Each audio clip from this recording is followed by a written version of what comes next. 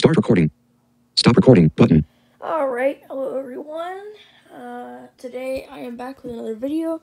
Today I am going to show you how to filter unknown messages. So if someone texts you, it will go into an unknown folder. Um, so people in your contacts that message you, uh, those messages will appear in one folder, and then the others will appear in another folder. And today we're going to do it on the iPad here. So I'm to unlock my iPad Air second generation, iPad Air 2. And we're going to go into the settings here. So, um, unlock it here. I'm using VoiceOver as well, so this is for people that have the VoiceOver, like they use VoiceOver. Oh, it locked again. Wednesday, January 27th.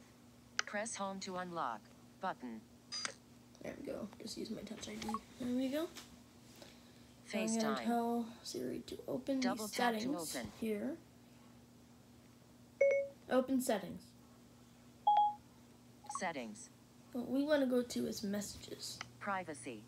App Store. So what I'm doing is a one finger swipe right, right now. Wallet and Apple Pay. Basic navigation button. gestures. Passwords. Mail.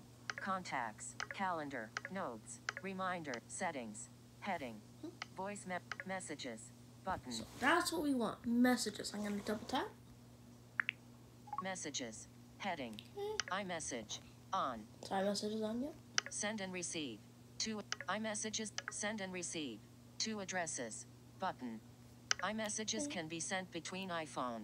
Share name and photo. Off. To personalize your show contact photos. On.